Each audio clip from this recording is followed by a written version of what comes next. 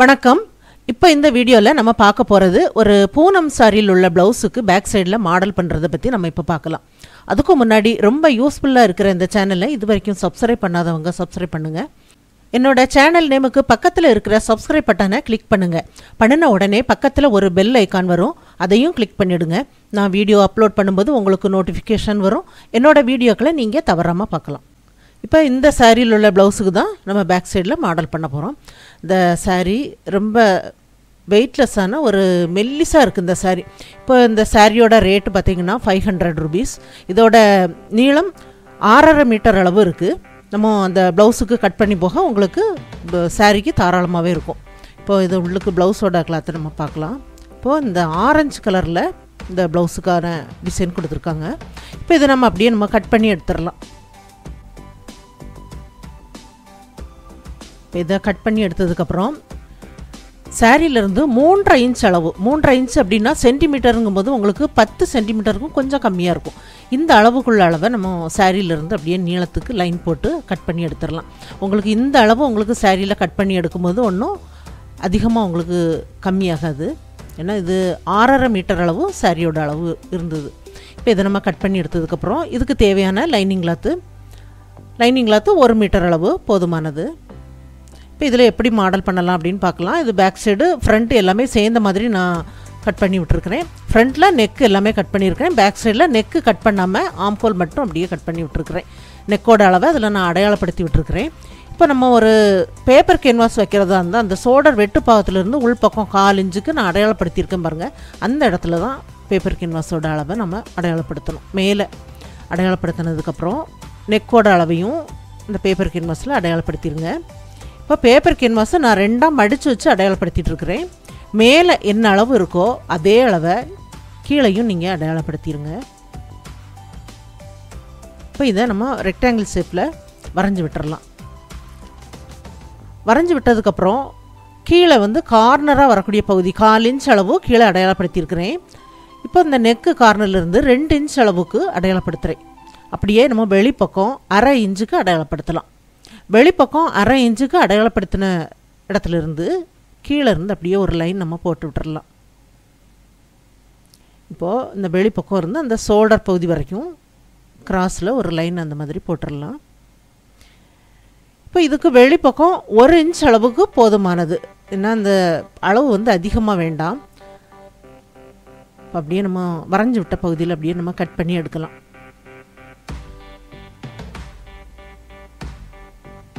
இப்போ இது back side உள்ள லைனிங் கிளாத்தில் சென்டர் பகுதியில் கரெக்டாக இந்த நம்ம உள்ளுக்கு கட் பண்ணி எடுத்த பேப்பர் கேன்வாஸை நம்ம வச்சுட்டு சைடில் நம்ம கட் பண்ணி எடுத்த அந்த பீஸை வச்சு அதுக்கப்புறம் உள்ளுக்குள்ளதை நீங்கள் எடுத்துருங்க.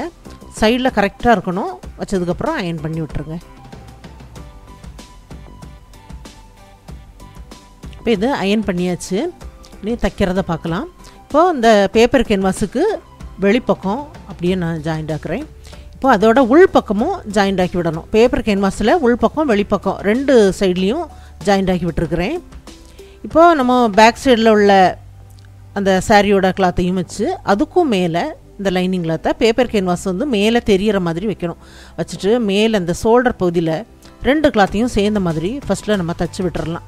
இது நீங்கள் கொஞ்சம் லாங் தையல் வேணாலும் வச்சு தச்சு விடுங்க. ஏன்னா இது நம்ம லாஸ்ட்டில் பிரிக்கிற மாதிரி தான் வரும். கரெக்டாக அந்த எட்ஜில் பிடிச்சிட்டு நீங்கள் தைங்க. ஒரு கிளாத்தை மட்டும் தனியாக பிடிச்சி இழுக்காதீங்க. இப்போது தைச்சதுக்கப்புறம் சைடில் எல்லாம் நம்ம திருப்பி பார்த்து இந்த சாரியோட கிளாத்தையெல்லாம் நல்லா நீட்டாக வச்சதுக்கப்புறம் சென்டரில் ஒரு பின் பண்ணி விட்டுருங்க. அப்புறம் சுற்றி அந்த ஆம்ஹோல் பகுதி சைடு எல்லாமே நீங்கள் சுற்றி கொஞ்சம் ஏழு எட்டு பின்னெல்லாம் அந்த மாதிரி குத்தி விட்டுருங்க. அப்புறம் அப்படியே நீங்கள் திருப்பி எடுத்துருங்க. அந்த பின் இருக்கும்போது உங்களுக்கு அந்த கிளாத் வந்து விலகி போகாமல் இருக்கும். இப்போ இந்த கழுத்துக்கு உள்பக்கம் நம்ம தைச்சி விட்டுறலாம். அந்த பேப்பர் கேன்வாஸுக்கு உள்ளுக்கு தைக்கணும். பேப்பர் கேன்வாஸில் தையல் படாத அளவுக்கு உள்பக்கமாக தைச்சிருங்க.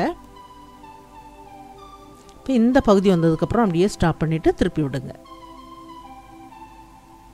இப்போது கழுத்துக்கு உள்பக்கம் நம்ம தைச்சதுக்கப்புறம் காலிஞ்சு கிளாத்தை விட்டு நம்ம கட் பண்ணணும்.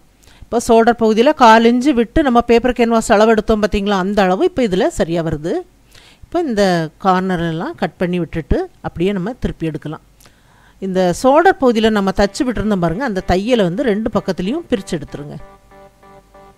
பிரித்து எடுத்துகிட்டு பின்னெல்லாம் எடுத்ததுக்கப்புறம் இந்த கிளாத்தை நம்ம அப்படியே அடிப்பக்கமாக திருப்பி விட்டுறலாம்.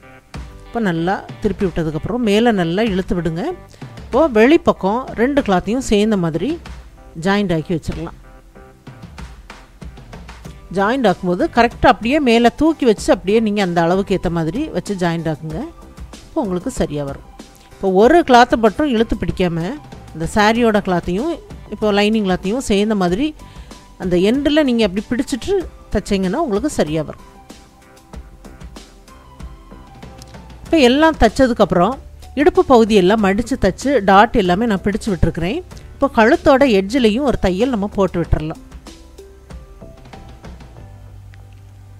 இப்போ கழுத்துக்கு எட்ஜில் நம்ம தைச்சதுக்கப்புறம் இதில் நம்ம டிசைன் பண்ண போகிறோம் இப்போ சாரியோட கிளாத்து கட் பண்ணி எடுத்தது. ரெண்டாக அந்த மாதிரி மடித்து அப்படியே நம்ம ஒரு தையல் போட்டுடலாம் அந்த நீளத்துக்கும் அப்படியே மடித்து தைச்சி விட்டுருங்க. இப்போ இந்த சாரியோட கிளா பார்டர் உள்ளது நமக்கு தேவையில்லை. கட் பண்ணி எடுத்துடலாம். இப்போ இந்த மடிப்பாக இருக்குது பாருங்கள் அந்த பகுதியை இந்த கழுத்து பகுதியில் வைக்கணும். நம்ம தச்சு விட்டுருக்குது சைடில் இருக்குது அப்படியே கழுத்துக்கு எட்ஜில் வச்சு அப்படியே நீங்கள் ஜாயின்ட் ஆக்குங்க. இந்த பகுதி வந்ததுக்கப்புறம் கொஞ்சம் இந்த மாதிரி மடித்து விட்டுருங்க. கொஞ்சம் தள்ளி ஒரு விரலை வச்சு இந்த மாதிரி பிடிச்சிட்டு அந்த கார்னரில் இந்த மாதிரி மடித்து விட்ருங்க கொஞ்சம் கிராஸில் இந்த மடிப்பு வர்ற மாதிரி மடித்து விட்ருங்க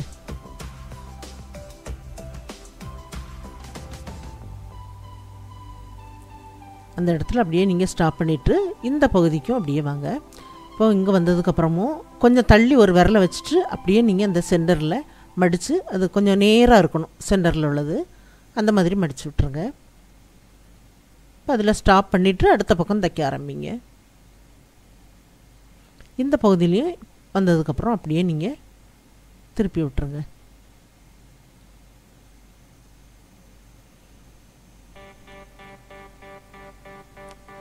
இப்போ கழுத்துக்கு உள்பக்கம் நம்ம தைச்சி முடிச்சாச்சு.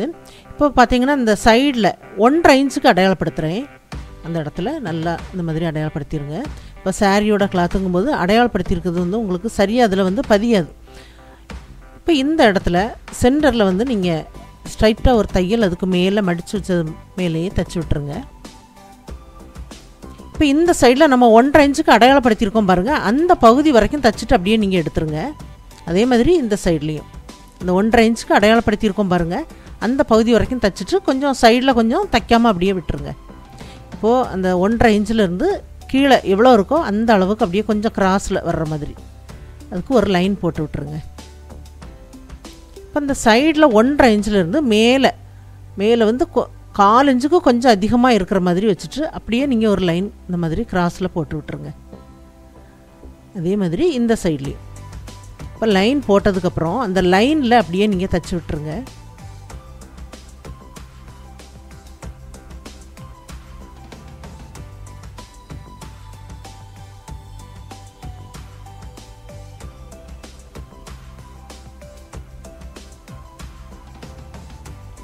இந்த பகுதி வரைக்கும் அந்த லைனில் அப்படியே தைச்சதுக்கப்புறம் அந்த தையலுக்கு வெளிப்பக்கம் இருக்கக்கூடிய கிளாத்தை அப்படியே கட் பண்ணி எடுத்துருங்க. கட் பண்ணி எடுக்கும்போது கொஞ்சம் கவனமாக கட் பண்ணி எடுங்க. கீழே உள்ள கிளாத்தில் படாத அளவுக்கு அப்படியே மேலே தூக்கிட்டு கட் பண்ணுங்கள் மெல்ல இந்த மாதிரி கட் பண்ணி அந்த லைனுக்கு ஏற்ற மாதிரி அப்படியே கட் பண்ணி விட்டுருங்க.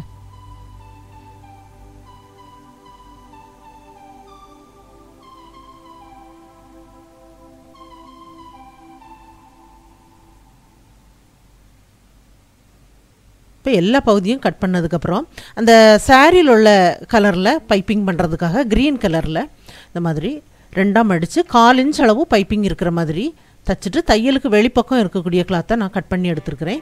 இப்போ இதில் நீடில் போட்டு நான் இதில் பைப்பிங் பண்ணுறேன் சைடில் அந்த மாதிரி முடிச்சு போட்டு விட்டுட்டு அந்த பெரிய சைஸ் நீடிலாக இருக்கணும். அந்த நீடில் அப்படியே நீங்கள் உள்ளே விடுங்க. ரொம்ப சாஃப்டான கிளாத்து அப்படிங்கும்போது இந்த மாதிரி நீடில் வச்சு நீங்கள் பண்ணுங்கள் கொஞ்சம் அளவு உள்ளுக்கு நீடில் போனதுக்கப்புறமே நீங்கள் இதை வந்து கொஞ்சம் லைட்டாக அப்படி இழுத்து விட்டுருங்க. உங்களுக்கு அது உள்ளே போயிடும் உள்ளே போயிட்டுனா கொஞ்சம் ஈஸியாக இருக்கும் இந்த மாதிரி பண்ணதுக்கு. இப்போ வெளிப்பக்கம் நீடில் வந்ததுக்கப்புறம் நீங்கள் இழுத்துருங்க. கொஞ்சம் ஈஸியாக வரும். பாருங்கள் அப்படியே உள்ளே போகுது. இந்த பக்கம் பிடிச்சி இழுத்துருங்க. இப்போ ரொம்ப சாஃப்டான கிளாத் அப்படிங்கும்போது கொஞ்சம் நல்லா கசங்கி இருக்கும். அயன் பண்ணி விட்டுருங்க.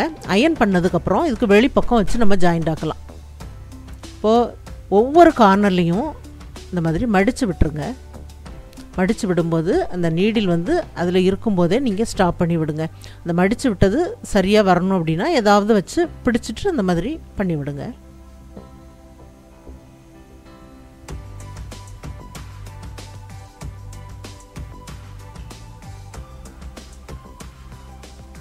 இப்போ இந்த பகுதி வந்ததுக்கப்புறமும் இந்த பாருங்கள் இந்த மாதிரி மடித்து விட்டிங்கன்னா அந்த கார்னர் வந்து உங்களுக்கு ஃபினிஷிங் நல்லா வரும். அப்படியே மேலே வரைக்கும் ஜாயிண்ட் ஆக்கியாச்சு. இப்போ இதில் இன்னொரு பக்கமும் ஜாயிண்ட் ஆக்கி விட்டுருங்க.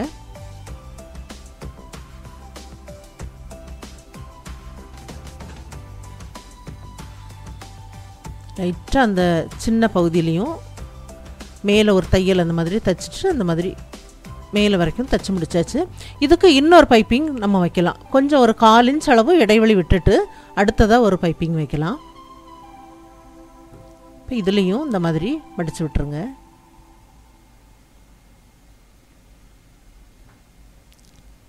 இதுலேயும் இன்னொரு தையல் போட்டு விட்டுறலாம்.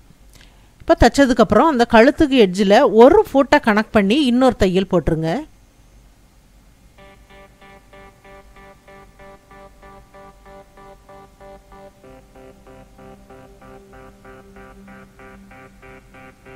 இப்போ உள்பக்கம் தைச்சி முடிச்சாச்சு.